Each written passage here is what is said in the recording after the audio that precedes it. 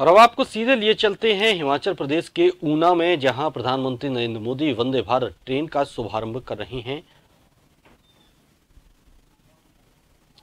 Train आकर PM Modi रवाना कर रहे हैं और इन हिमाचल। तस्वीरों में हम एक बार फिर से हम आपको दिखा रहे हैं किस तरह से जो वंदे भारत ट्रेन है ये चौथी ट्रेन है।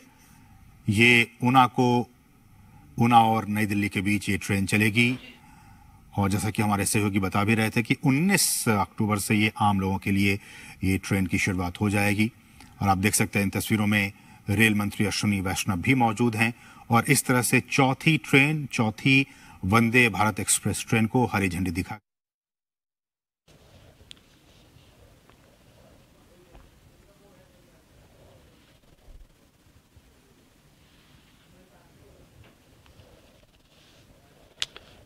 ये तस्वीरें देखिए, प्रधानमंत्री नरेंद्र मोदी वंदे भारत ट्रेन को हरी झंडी दिखाकर रवाना करते हुए हिमाचल प्रदेश से इस ट्रेन को रवाना किया जा रहा है।